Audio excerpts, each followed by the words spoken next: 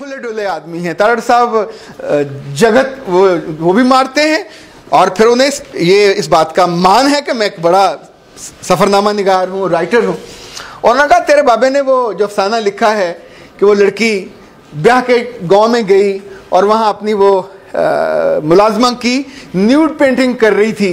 और she was artist तो अचानक दूर से भैंसें और गायें जब शाम का वक्त हुआ, आनी शुरू हुई तो सडनली वट हैपेंड उसने वो सीन देखा, वो डस्ट उड़ती हुई, वो शाम को भैंसों का आना, वो घंटियों का बजना। अच्छा इसका तो कुरान पाक में ज़िक्र है कि जो मोमेंट्स होते हैं, जो बहुत हॉन्ट करते हैं she became Muslim at that moment उसको इतना अच्छा लगा, उसका दिल बदल गया उस, लम्हे की वजह से एंड उसने नमाज़ पढ़ी।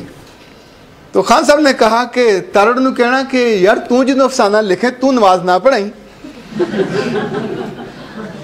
ये कुल उन्होंने कहा, जब खान साहब फौत हुए और हम उनको कब्र में उतार रहे थे, वहाँ सिर्फ़ तीन लोग थे, तारड़ साहब थे, नूर था, नूरुल हसन और ये सख्त दिल बुढ़ा बाबा, अंदर से इतना नरम था कि आंसुओं से रो रहा था उस बाबे को रुखसत करते हुए, जो इन सब राइटरों का बाप, जिसने सबको छतर छाया दी। जब रेडियो पाकिस्तान की पचहत्तरवीं सालगिरह हुई तो मुझे साथ ले गए। जब वहाँ पहुँचे तो रेडियो पाकिस्तान में जितनी लड़कियाँ काम करती थी, वो सब आके बाबा जी से गले मिल रही थी। बाबा जी उस वक्त बहुत बल्कि थे, इतने। तो मैं साथ चल रहा था, मुझे बहुत तकलीफ़ हुई कि ये अजीब बात है, बाबा जी मना ही नहीं कर रहे। अच्छा वो जो आ रही है, आके जफी डाल रही है उनके पेट पे सर रख के लिटरली देवर विपिंग और वो पूछते थे, ओए, कुड़िए, तेरा सॉरी ओए, कुड़िए, तेरा की हाल है? तेरा मुंडा कैसा? तेरा मियाँ कैसा? अच्छा मैंने अब इधर से खड़ा देख रहा हूँ। What a writer what a person जिससे आप मोहब्बत करना चाहते हो। उसकी आँखों में एक लम्हे के लिए भी कोई वेव नहीं कूदी होगी, जिसमें कोई लस्ट हो, जिसमें कोई फीलिंग हो। जब आप अगले बंदे को, या बच्ची को वही फील कर रहे हैं, अपने बच्चों की तरह, या शायद उससे भी कुछ ज़्यादा तो कभी आपके उस दिल में, उस वो जो कचरे का ढेर बन जाता है, कुछ ख्याल नहीं आता। राइटर बनना है, बड़ा बनना है तो इसको जितना पवित्र रखेंगे, जितना साफ़ रखेंगे, लोग आगे आपके कंधे पे सर रख के रोएँ, उन्हें ये तकिया और गद्दा लगे कि ये कमाल आदमी से बात शेयर की जा सकती है अदरवाइज़ याद रखिएगा। ज़मीन में, दुनिया में, घर में कचरे के डब्बे बहुत हैं और हम लोगों को उसमें फेंकने में देर नहीं लगाते। अपनी कापियों पेंसिलों को सीधा करें, जरा हम एक छोटा सा काम करने लगे। लिखिए जी, हमारे पास कुल दो मिनट हैं। You have to complete this in just two minutes your time starts now आप एक ऐसी बस में बैठे हैं जो 2933 में लाहौर से इस्लामाबाद जा रही है। 2017 नहीं है 2933 है। जरा डिस्क्राइब कीजिए वो बस किस तरह की होगी। वो मोमेंट वो एहसास, वो चीज़ जिसमें आप बैठने लगे हो, वो कैसी होगी। जरा इसको देख लीजिएगा। और इसको देख लीजिएगा। हम ज़िक्र कर रहे हैं क्रिएटिविटी राइटर सोचे बिना क्रिएट नहीं कर सकता। 2933 में लाहौर से आप इस्लामाबाद जाने के लिए बस में दाखिल हो रहे हैं। होस्टेस वहाँ खड़ी है। दरवाज़ा खुला है। आई डोंट नो वो कैसी बस होगी। ज़रा विजुलाइज कीजिए, वो कैसी बस होगी। अल्लाह माफ़ करे, परेशानी चेहरे पे यूँ है। जल्दी से। ये कागज़ आपने मुझे देना अपना नाम और फ़ोन नंबर उस पर लिख दीजिएगा। अच्छा एक बात कभी गौर कीजिएगा, पूरी तारीख ये बताती है कि हुकूमतें हमेशा ख़ानदानों के पास रही हैं।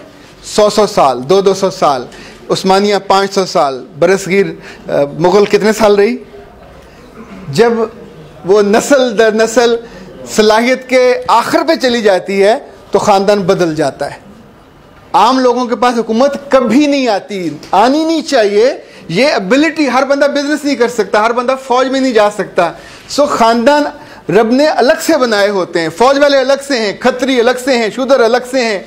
वो उनके जो दूसरे होते हैं अलग अलग सो उनको अगर वो बेहतर नहीं होते तो वो मारे जाते हैं। रब उनको बदल देता है। उमैस के साथ हुआ, अब्बासियों के साथ हुआ, फातमीज के साथ हुआ। तारीख एक ही चीज़ बताती है कि जो ही वो अखलाकी तौर पे नीचे गिरते हैं अपने म्यार से कम होते हैं। Ability is the most important thing that's a more important thing than anything Marwan का नाम सुना आपने किसी ने? Yes. जब हज़रत अमीर माविया फौत हो गए तो आलमोस्ट बनु मियाँ ख़त्म हो गई।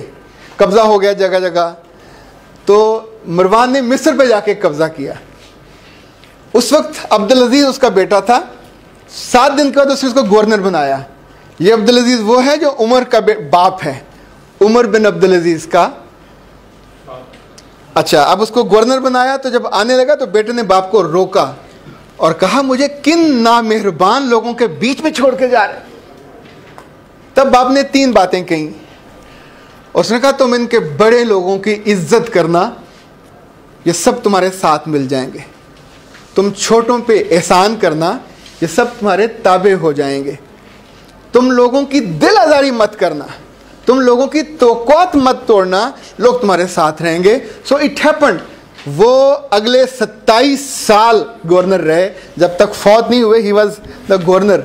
और उमर बिन अब्दुल अज़ीज़ उनके बेटे थे। So abilities are the more important thing चाहे वो राइटर हो, चाहे किसी और जगह तो सफ़र कीजिए। ये क्या है? इट्स ए हेलीकॉप्टर एक आदमी को रेस्क्यू करके समुद्र से वो लेके जा रहा है। इट्स ए शार्क शार्क बड़ी मछली होती है। ऑलमोस्ट आदमखोर होती है। इंसान का, वो जो है ना, जायका आई डोंट नो कैसा होता है। सुना है एक पादरी किसी जगह गया तो वो जो अफ्रीकी कबीला था, उसके गिरद वो डांस वांस करने लगे। तो उसने उन्हें बताना चाहा कि गॉड ऐसा होता है गॉड उसने कहा हाँ हमें पता है तुम्हारा बाप भी आया था उसका मज़ा भी बहुत अच्छा था तो उम्मीद है तुम्हारा जायका भी अच्छा होगा। Imagine you are the shark and describe इस लम्हे आप क्या सोच रहे हैं? Of course you as a shark think आप शार्कियाँ हो ये शार्क्स हैं तो सोचें कि इस लम्हे वो बंदा आपसे कितनी दूर है और आप क्या सोच रहे हैं? यू थिंक आप ये है और इस लम्हे वो सामने आपके शिकार है आपका। यू वॉन्ट टू ईट वो बच जाएगा, वो उठ जाएगा। आपके दिल में कोई खदशा है, कोई ख़तरा है? अच्छा जी, जल्दी से लिखिए लाइन लगा के। अब तक की गुफ्तगु में आपको क्या लगा कि लिखने की ख्वाहिश वाले लोगों के अंदर पुनः तौर पर मिनिमम क्या चार एबिलिटीज या सलाहितें होनी चाहिए। ये तीसरा सवाल। हाँ जी इट्स अ थर्ड लाइन दी दूसरा शार्क वाला था। जल्दी से क्विक मैंने बेटा ये कहा है कि आप लिखना चाहते हैं तो एक बतौर राइटर आपके अंदर मिनिमम चार खूबियाँ क्या होनी चाहिए? ऑफ़ कोर्स ऑफ़ कोर्स हाँ जी। जी। चार चीज़ें जो आपने बताई एक रोल मॉडल होना चाहिए ठीक है। रीडिंग रीडिंग हैबिट होनी आला चाहिए आला। अच्छी होनी चाहिए आप आइए आप मेरे पास आइए। वो सामा यार गिफ्ट दें बच्चे को नौजवान को गिफ्ट दिया जाए। ये किताब मुझे बहुत पसंद है। I love this book it's for you thank you sir thank you अच्छा एक बार और याद रखिएगा। बींग द राइटर कभी पार्टी मत बने।